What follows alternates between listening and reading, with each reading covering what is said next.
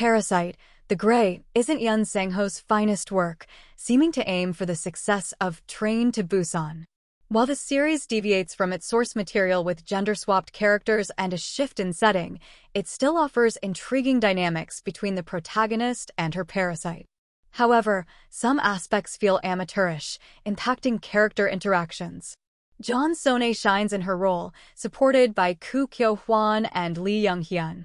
While the cinematography and direction are solid, they fall short of excellence, with missed opportunities for impact. Overall, the series is enjoyable but lacks the polish of Yeon's previous work.